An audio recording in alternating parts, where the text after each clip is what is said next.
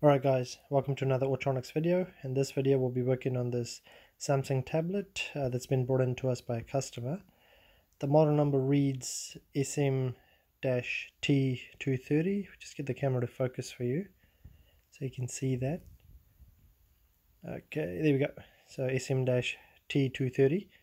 So we'll be replacing the uh, charging port for this. Now I've uh, pre-deassembled this um, take that cover off and remove this motherboard from this um, tablet. Now let's get rid of these some of these small connections that are on the motherboard LCD digitizer camera and the battery connections. And let's remove this motherboard out of this uh, tablet. Okay let's get rid of that and um, bring this under the microscope. And let's firstly examine the charging port here so we can have a look under the camera. Let's get this sort of focus again that uh, the charging port is rather damaged. So you can see the pins inside there are quite bent and damaged. So what we'll do is replace this charging port put in a uh, new one in there and let's see how we go from there. So let's place you on a uh, PCB holder here and let's go from there. So what I'll start off by doing is applying a bit of flux around the uh, joints of the um, charging port and apply a bit of solder just to melt um, the solder around the charger port and um, get the uh, solder to flow rather easily. So when we heat up with the um, heat gun we would be having success in removing this without applying too much heat on the board. So let's uh, let's have a look at that. So let me grab my uh, selection of tweezers here and um, let's uh, let's grab this and a couple other things and um, okay so I've got what I need. Got to just use this just bring the heat gun in. So I've got it set at about 320 uh, degrees Celsius and let's just heat on top of the uh, charging port. Um, it shouldn't require too much heat because we've used um, the fresh solder on it so let's let's apply a little bit of heat and just work it back and forth and there we go. So we'll remove that. So remove the old charging port. We'll leave it here because it's quite hot um, and the next thing that I'll do is I'll go over this with some fresh solder and flux um, and uh, and just clean up this joint here. Um, so let's do that now. Let's heat up the pads again ensuring that we have not lifted up any pads here. And um, let me just find my solder braid. Um, there we go. So this is a 3mm solder braid. It can be found at AliExpress or Jaycar or anywhere that you feel you can get solder braids from. Um, so let's use this here. Let's suck up all of the solder from the motherboard and the charging port here.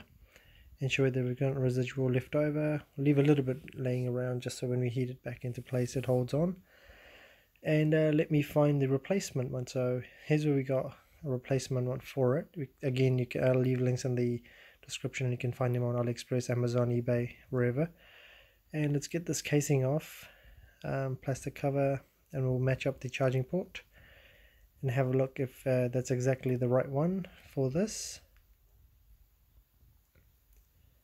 Okay. Let's get this in focus and let's bring the old one and compare with the new one. So let's have a look. So we've got the old one and the new one. So the pin alignments are basically the same so I'm happy with that.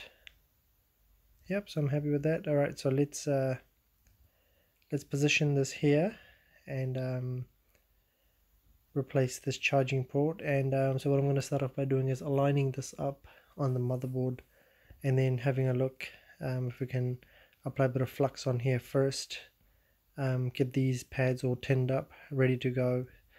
Um, I do use a little bit of uh, flux around these joints um, just so I can ensure that I've got an even flow of solder. So let's uh, bring the solder and the soldering iron here and solder these joints up.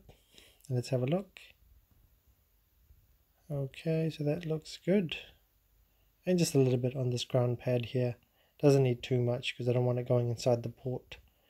Um, let's bring the port. Let's line it up. Let's place that there. Okay, that looks good. Let's hold it in place and bring in the soldering iron let's line it up a little, little bit here Okay, so I'm happy with that. Okay, so what I'll start to do is just um, tack in these little joints on the side here. Okay, so I'm happy with that. And then I will bring in the solder and the flux um, just so I can flow this area a little bit um, easier. So what I tend to do is I don't tend to use the heat gun on here. There is a plastic part here, but I do solder this in. So just a little bit on the sides here and here. That's ample. Try not to put too much on just because it leaks inside. Um, and then a little bit here and a little bit on this side.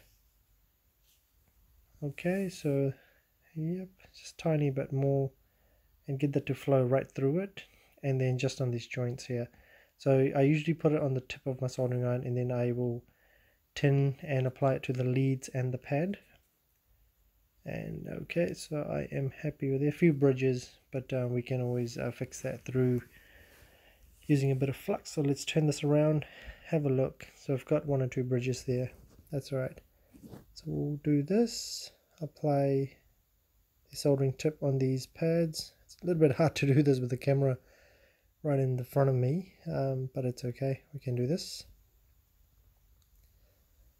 And um, so let's apply that and let's clean it up. So what we'll do is um, apply a bit of um, isopropyl that I'm using to clean this and a q-tip. I just want to have a, a clearer view inside to see um, if my joints are all um, connected and joined up properly. So I'm going to have one final look. If need be, I'll apply a little bit of a solder on um, and flux on here um, just so I can get rid of the uh, minimal bridges that are on here. Um, so so flux and, and it just makes it, flux just makes it uh, the solder flow a little bit easier for me. Um, so okay, so let's get a, rid of that bridge. Cool. Let's apply on this one. Let's get rid of that one. That's okay. All right, cool. So I am quite happy with the way that looks. And I'm just going to be going over it a little bit more. Okay, so I'm happy with that. So now um, let's let's bring in the isopropyl again and give this a, a clean. Um, spray it on here and with the q-tip just go around uh, on the edges of it. Um, don't press too hard, otherwise you'll knock off some components um, nearby. Okay, so let's remove this from the PCB holder um, and let's uh, have a look. Um, here we are. Awesome. So that looks like it's in place. So let's grab my tweezers and just do a uh, test on here. Um, great. So that's soldered on quite well. I'm happy with that. So let's go all the way through and there we are. So you can see that quite clearly that it's soldered on perfectly and I'm happy with that. I tend to not use heat gun on here because there is a plastic part inside and I don't want to melt that or risk of melting it. So let's grab, um, let's move our little PCB holder out of the way here. Um, and um, let's assemble this back into the uh, tablet. Zoom you guys out a little bit. And um, all right, there we go. And let's uh, let's have a look let's assemble this back up um, all right so that's good and let's figure out how which way does this go okay so that goes on this side cool and uh, yep that connectors for that. And okay let's move this up on top. Um, okay so let's plug in this big connector. Oh, there's a little one stuck underneath. I always find myself finding a connector at the bottom uh, somewhere. But um, always good to just check over all of the connections and ensure that you've got a solid connection on all of your um, uh, cables that are leading onto the motherboard so you uh, know that there's a secure connection there. So let's push this in a little bit more and press that down.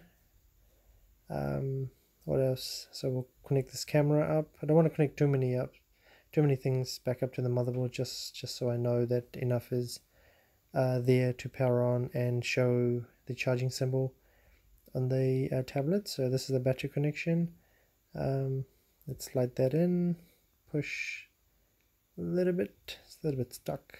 Okay there we go. Close that. Okay and I might just put one screw here. Um, just we'll just have a look.